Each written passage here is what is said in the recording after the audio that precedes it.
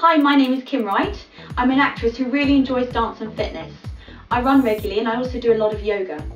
I've just finished filming a film trailer and you can check that out at www.jerichoswallsarefalling.com. And I also have a site on YouTube and you can check that out at www.youtube.com forward slash KLRW1984.